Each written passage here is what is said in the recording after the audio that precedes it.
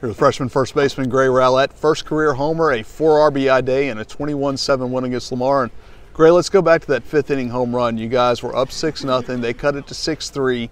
Uh, you get a run ahead of you, make it seven three. Walk us through the at bat and what you thought that meant in terms of being able to answer their three-run uh, inning with a three-run shot of your own.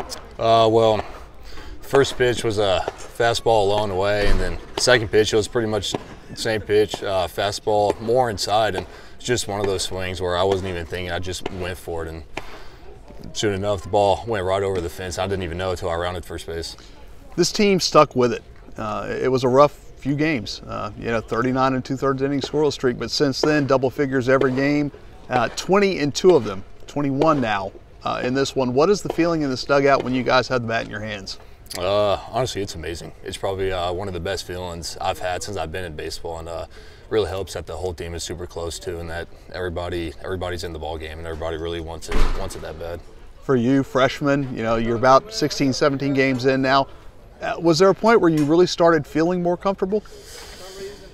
Yeah, it, it took me a couple games, a couple at bats. Uh, I really started getting comfortable with uh, definitely the third game. I was really comfortable with all the team and really comfortable with getting in the box and then knowing that I've got a lot of confidence. I can do a lot of damage with the bat. All right, great. Thank you so much. Congratulations. Thank you.